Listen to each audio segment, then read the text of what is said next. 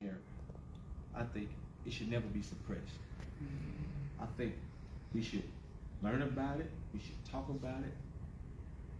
And I say those things because if you don't know your history, it's a very, very, very great chance that you can repeat your history. So I think um, all things aside, whether it's uh, specifically talking about slavery, treatment of black individual, whatever it is, I think it shouldn't be restricted. I shouldn't. It shouldn't be restricted because someone feel a different way, or someone feel like uh, they don't want to talk about this because it puts one group of people in a different light, or it makes one group of people look bad over another. I think our history is our history.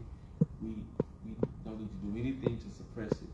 Uh, we just need to have our history the way it is, way it was made, so we can all learn from it. I mean, we have to have these uh, critical and hard conversations uh, because if we don't, uh, our kids don't understand the struggles that we go through. Our kids don't understand um, the things that our forefathers and our ancestors had to go through. So I think those things should definitely not be suppressed, not be restricted in our school system. yeah, so a few you know points on it that um, it's it, it is a made up issue uh, by the, the right wing to distract from real issues uh, instead of talking about healthcare and jobs and, and, and real education uh, that's going to empower students. Right, it's something that that was made up to try to score political points. um, it uh, critical race theory of what it truly is is not even taught in K through 12 it's rarely even taught in undergrad. Um, I've learned about it a little bit in law school. There was a class on uh, specifically on on school uh, segregation um, and looking at those cases, and we, we, looked at critical race theory in that class. Um, it wasn't even specifically called that. Um, but say that to say that that all of this talk and this you know, made-up, fabricated fear uh, that children are being taught critical race theory itself is just not true. Um, but should we be teaching, you know, true, honest history uh, to students? Of course, it needs to be age appropriate. Um, but that doesn't mean that that you should, um, you know, it's interesting that you know who's actually, you know, uh, uh, participating in cancel culture. Uh, in this situation, it, it's those that are afraid of, of telling the truth. Uh, when the state school board uh, voted on their, you know, ban on it, um, I spoke there in my behalf as someone who's, you know, on behalf of, of you know, being Jewish. And I said that, you know, I grew up uh, from as early as I can remember learning about the Holocaust, right? And at times it was uncomfortable, at times uh, it was really disturbing, but it didn't, one, you know, make me ashamed or embarrassed of who I am. Uh, it didn't make me feel that I was inferior, that other people, uh, you know, as a whole were bad. Uh, but it, it, was just the truthful history of you know what my people went through, and if anything, it, it made me that much more proud of my background and identity and I said this at the state school board meeting, I think that the people that are trying to pass uh, these bills and, and ban it, that's what they're afraid of, right? That if people really know their history and embrace it and they're empowered, uh, that is a threat to the status quo. Um, so I, I, think just knowing what, what the motivation is behind it and you know, exposing young people uh, you know, to, to that history is just so that, that we, you know, I know it's cliche, but we don't repeat it again. Right, some of the, the language uh, that we're hearing now in, in Russia uh, from Putin and from others, uh, you can almost verbatim put that side by side with things that Hitler said. And just, you know, if we don't teach that history and look at that language and understand what happened, well, then we'll, we'll get confused and, and not understand, you know, what really happened. And the, you know, last part I'll say about it is, um, you know, at the Holocaust Museum in, in Washington, D.C., uh, there's a, they have from uh, Deuteronomy, the, the, line, and I'll paraphrase, that says, uh, you know, so you never forget what your eyes have seen. You need to teach, you know, what you have seen to your children and your children's children, right? And, and that is a core tenet uh, in the Bible. Uh, it is a re- there's a reason that is in there that we need to teach history. Uh, so for people that, that claim to, to really be uh, such good Christians, uh, you know, the word right there says that, that we need to teach it. Um, so again, it's, it's made up. Uh, I hope that, that the legislature can focus on real education issues uh, that really are important. Thank you both for that. So I'll have one last question, and then we'll turn it to our audience for questions, so start getting your questions ready, uh, audience. Alabama has received a substantial amount of money from the American Rescue Plan Act, um, causing an increase in the general fund and educational budget. How do you think the funds should be spent within your district? Um, specifically in, in my district, um, there are, um, quite a few different needs in some of the other districts that are in the state of Alabama. Uh, specifically, um, in Lowndes County, um, if, if you guys are not aware, there was a sixty-minute study, I mean, sixty-minute, um, broadcast done on Lowndes County where it talks about, uh, when I talk about those quality of life issues, they talk about, uh, clean water, clean drinking water, and, and people not having the proper, uh, sewage and sanitation, uh, systems to dispose of their solid waste. Um, and that ties right back into, uh, the health and welfare of, of our citizens. Um, and so we were able to, uh, because of that and because of the attention that we've gotten, we was able to actually uh, get an appropriation done uh, for that specific entity, and it's it's just a drop in the bucket of what it's going to actually cost. Um, but more specifically, I think in, in my district as as a whole, if we focus on those things um, like infrastructure, um, I mean, this this money can be used for a vast variety of things, whether it's infrastructure. I mean, it can even be used to to uh, to, to, to provide for education. Um, a lot of it is going to, for infrastructure, um, roads and bridges, um, healthcare. Um, it's it's no reason why the state of Alabama hadn't expanded Medicaid. Uh, it's, it's no reason. We, we have another opportunity with this tranche of money to get it right. Um, and we say this all the time. Um, our people deserve our best. And we shouldn't let special interests, we shouldn't let anyone else determine the difference between our people having and our people not having. Um, so uh, there are, are several things that are on the table in terms of what this money could be used for, um, from broadband to health care, uh, propping up our hospitals, nursing homes for being devastated by COVID. Uh, all those things have a net effect on our people. So I think if we really just focus on um, what it's going to take to get uh, our people up to the standard they need, and then go into these meetings trying to appropriate this money based on the needs of the community and not the needs of our special interest groups, whatever they may be. And you're asking about the, the COVID funding that's still coming? Um, yeah, so, I mean, a, a few things, and, and agree with Representative Lawrence, you know, one, mental health services, um, you know, we, we, I think in California, uh, just the way they're trying to recruit teachers, uh, right now that they're focusing on, you know, trying to have mental health counselors in every school, and I think their goal is to hire ten thousand. Obviously, California has a lot more schools, uh, than we do, uh, but using some of that, that COVID, you know, funding to, to hire mental health counselors, uh, to be in the schools. Right now, uh, they either rotate around or there's a guidance counselor, uh, but to truly have someone that's there every day, uh, that can work with, with students, uh, would be, you know, one use of it. Um, you know, we saw with some of the early COVID funding, uh, some of the small business loans. And, you know, that was, was helpful as far as keeping certain businesses open and going. But for those who really did take a loss, especially restaurants, uh, in the district or entertainment venues, um, you know, we have a bowling alley, uh, right off of, of Atlanta Highway, right? All those activities that people didn't do as much during the pandemic. I think doing a, another round, uh, of targeted, you know, small business funding, uh, for businesses, uh, you know, especially minority and women owned, uh, you know, would be very helpful.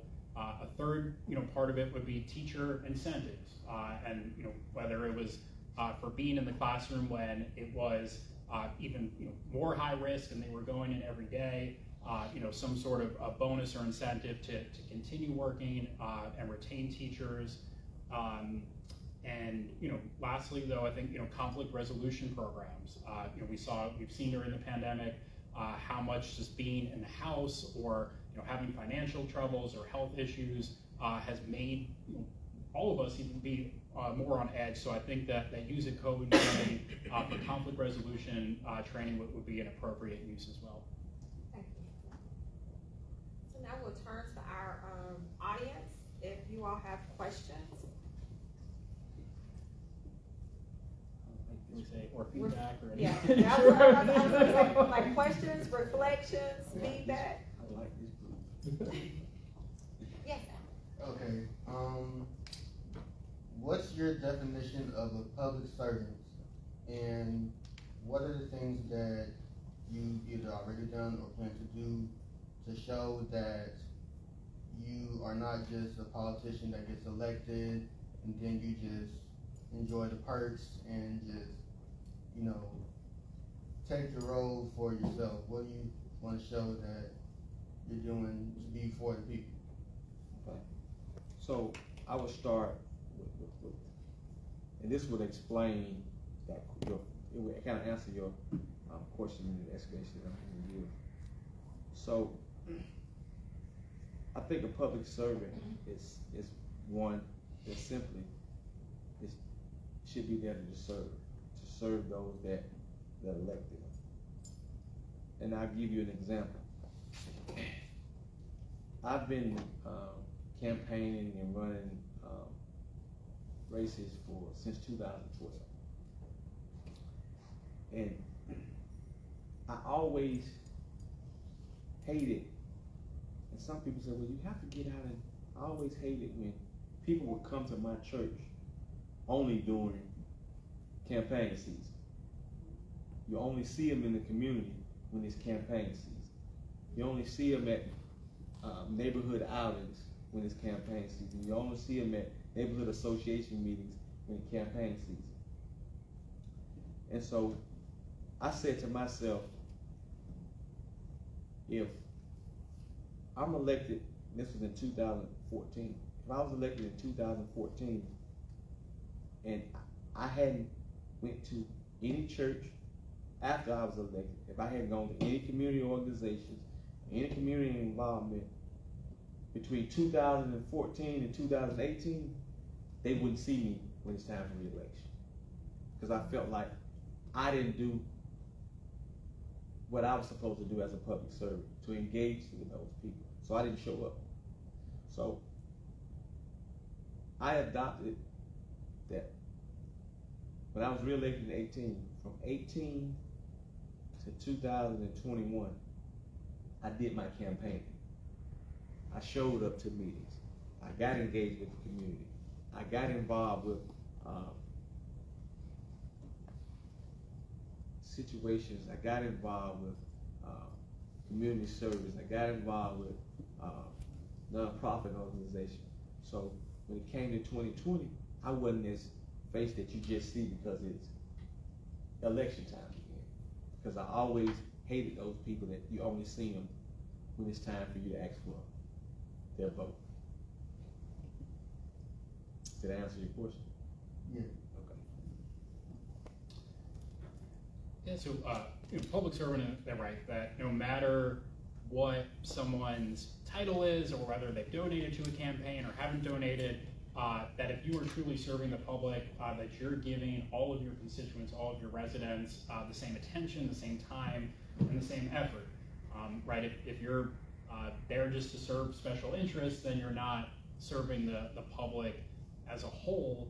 Uh, and, you know, the distinction I would say between someone who's a politician and someone who's in, in public service um, is that politicians at times right get very caught up in, in the title, uh, you know, can get caught up in, in you know, going to, to some of the, the fancier and kind of uh, you know the perks of, of being in office, and there's nothing wrong with that. It's uh, you know it's a, way to, to meet people, uh, but right as long as that that you are just as equally uh, rolling up your sleeves and doing the work uh, and talking to people, uh, no matter what their influences or, or their title, and, and connecting them to, to resources. You know, a lot of people, uh, you know, just they don't necessarily want to know all the details of legislation. Uh, they don't want to, you know, hear about the bickering of, of, you know, who said what and who did what.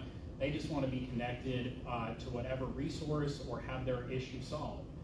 It, it could be as simple as they want to know if, if they want to have, you know, uh, in their neighborhood want to get a speed bump because cars fly by. They just want to know, do they talk to their city council member? Do they talk to the state?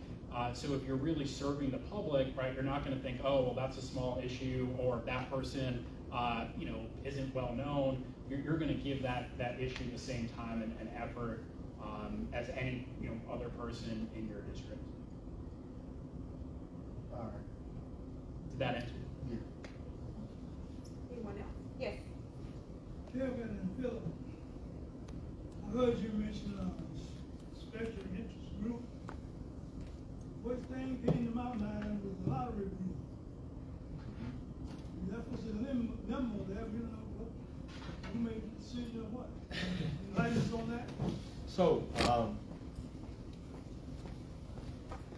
with, with, with the, the lottery legislation, um, to be honest and frank, uh, it's, it's, it's the issues of the casinos that's blocking, um, the lottery.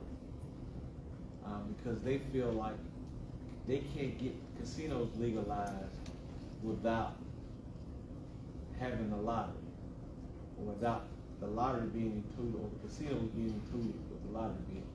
So there's not a, a real taste for casinos in the state of Alabama, but there is an appetite for a lottery that would go for education or some other uh, purposes, whether it's education and uh, to use for other purposes, whether infrastructure or some other resources.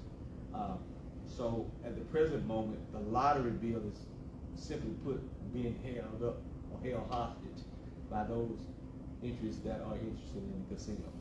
They feel like they can't get casinos legalized without coupling it in with the lottery. Simply put. Um, and I think, uh, in order to defeat that, we have to start now calling our representatives, talking to our senators, and, and, and voicing our opinion that we as people want to vote for a lottery. You know, whether the casinos involved in it or whether they're not, we want to vote for a lottery because right now, citizens of the state of Alabama, we're educating kids in Tennessee, we're educating kids in Mississippi, Hmm. we're educating kids in Georgia. All of our surrounding states have a lottery with some type of proceeds going to education. And, and- I think that is a catalyst for, for us kind of, uh, undergirding our education system. Uh, That's, that's revenue that's estimated at over four hundred and seventy-four million dollars that can, uh,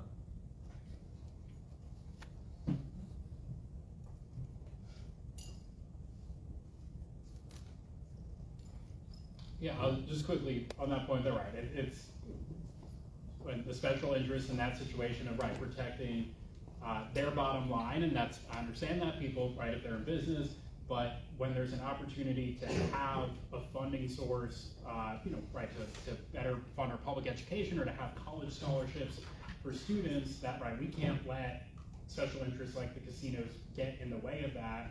Um, and something that, you know, people have opened my eyes to is that, you know, in the past when they have then funded uh, religious organizations or leaders to make it a, you know, uh, talk about it as a religious or moral issue. Uh, so then you had some uh, people in the state who, you know, didn't even think about it as, oh, it's a special interest as far as the casinos, but they saw it as, oh, wow, well, this is a religious issue and it's immoral to gamble or to, uh, you know, uh, spend money on, on lottery tickets. So just even being transparent about right who's funding what campaigns and making sure that that we know who's behind what.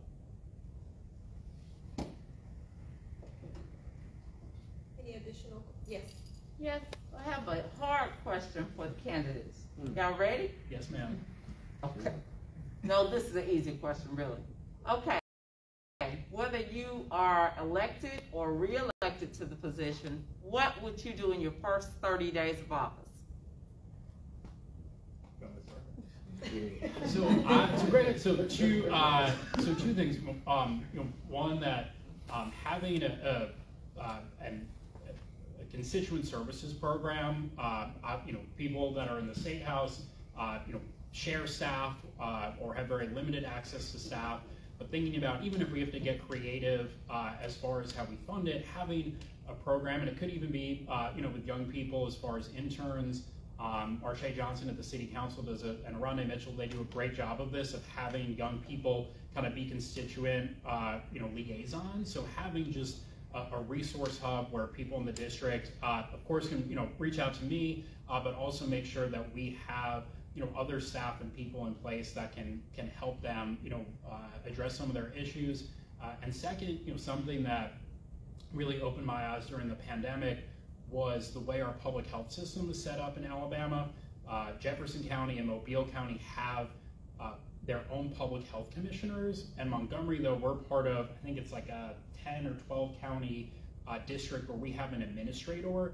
Uh, doesn't have a public health background, doesn't necessarily think about things through that public health lens, thinks about it more from a bureaucratic standpoint and logistics, which is you know helpful at times. But what I would want to do in those first 30 days uh, is put together uh, a local bill. Uh, hopefully, there's support from the local delegation to have uh, a, a, public health commissioner for Montgomery County and someone who's really focused on uh, delivering services in an equitable way, uh, someone who has that public health background to address some of our issues here. instead of just an administrator who's you know trying to go between you know a whole bunch of different counties. So, I don't plan to lose the election, so we're not gonna talk about what I'd be doing if I lost the election in thirty days, but, uh, an initiative that, that I started on this year, so as of right now, I'm the chairman of the House Montgomery County delegation. It's a, a seven-member, um, delegation, and so we've embarked on this, um, journey to, to create a delegation office. And what this delegation office would entail is, um, an office where, um, constituents can come in, constituents can call, um, it will have, um, information about constituent services, whether it's trying to figure out, uh, who you need to contact if you need it, if you have an issue relative to social security. Or if you have an issue relative to something, um, dealing with, um, I would say, a probate issue that's specifically tied to um, the legislative process. Um, or if you just have general questions as it relates to, um, I'm new in the area and I'm looking for a pediatrician or I'm looking for a specific type doctor. This office will be specifically designated for constituent services.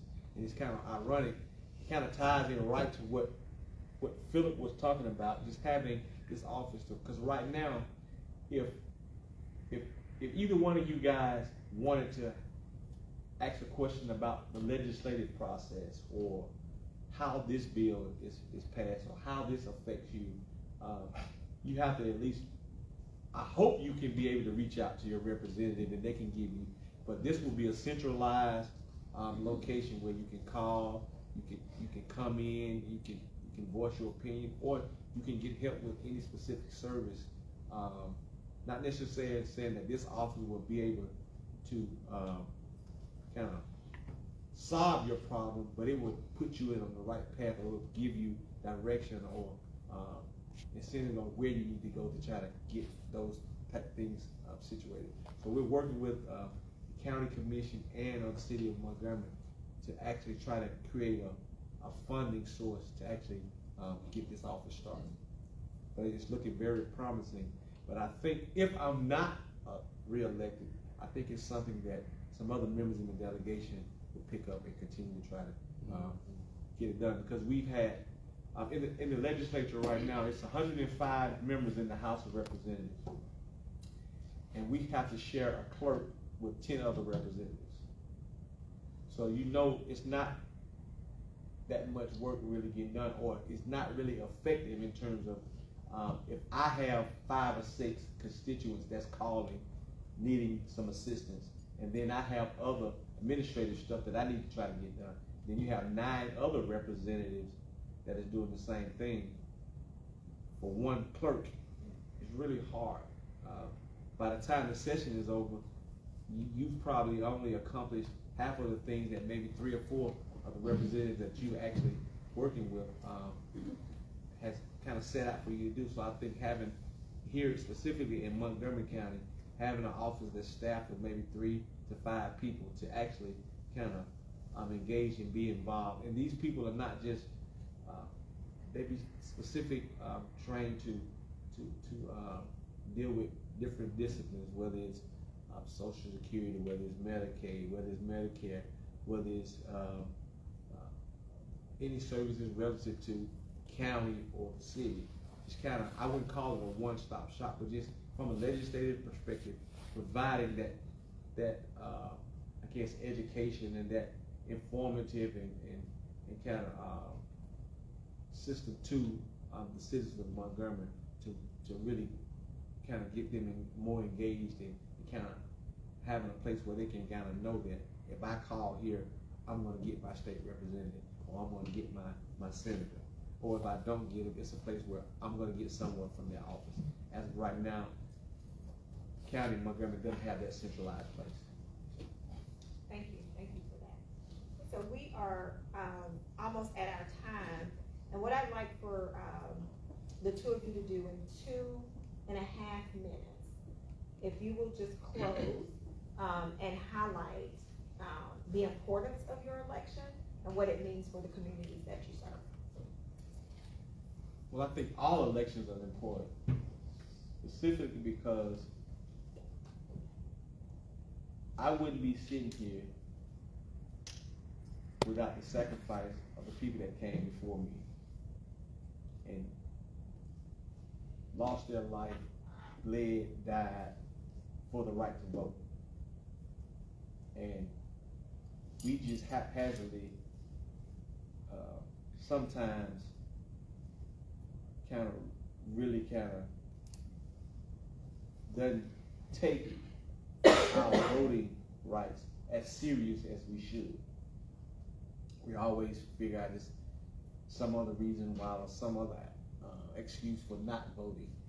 I think um, we owe it to those that came before us uh, to exercise our right of vote in any election. Not saying um, who you should vote for, unless it's me. but we should exercise our right to vote. Uh, uh, we all know voting should have been a God-given right, but here in America it wasn't. We had to fight for our right to vote. Uh, so I think uh, everybody should take the initiative. If, if you're able-bodied and you're of good sound mind and good health, shouldn't anything get in the way of you exercising your right to vote. Thank you.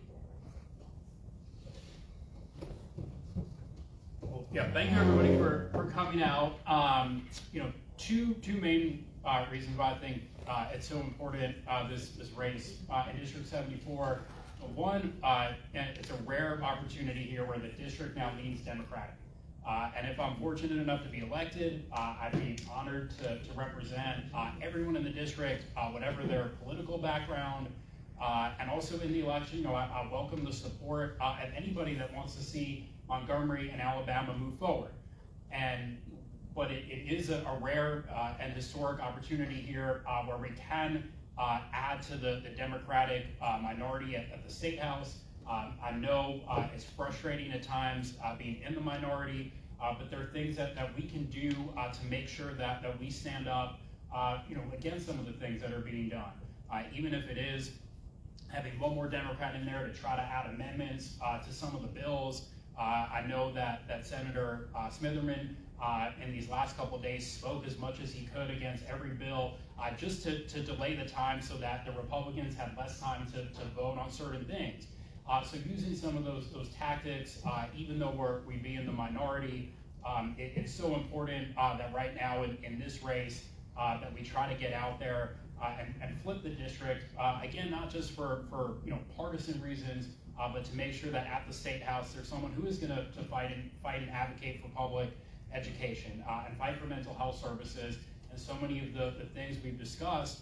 Um, and I, I don't want to sound uh, hyperbolic about it, but but lives do uh, uh, you know are, are going to be impacted by it. Uh, you know, right now there were two bills that passed the session. Uh, one we spoke about, the permitless carry bill. The one that, that hasn't gotten as much attention that's that did pass and was signed into law that says that the state of Alabama will ignore federal gun law. Uh, and just yesterday, uh, President Biden issued an executive order to make it easier for law enforcement and district attorneys uh, to go after what they call these ghost guns. So when people order pieces online and put together their own guns, uh, the state of Alabama uh, passed a law that says we're going to ignore uh, federal law. Uh, now, you know, one, I didn't have to go to law school to learn this. Uh, it's unconstitutional when a state says they're not going to follow federal law. Uh, maybe if we taught proper history, uh, some representatives would know uh, that when Alabama ignores state law, it never ends well for Alabama. Uh, so having someone in there who just knows uh, that we shouldn't waste time on, on legislation that's going to be overruled, uh, having to defend lawsuits, that money could be going to the residents of the district and the state. Um, but it's not just about politics. It's not about, you know, do you support, you know, gun rights or not? You know, there are people in the district um, that have lost their lives to, or have lost family members to gun violence. Uh, just this past Sunday uh, in Chisholm, uh, uh, uh, saw the grandfather of a young man, uh, Shaquille Johnson, who was at Lee. He was the same year as Allen, and, and he passed away from gun violence in 2018. And what his grandfather, you know, said to me was, and, and we went inside, and he, right inside they have um, his jersey.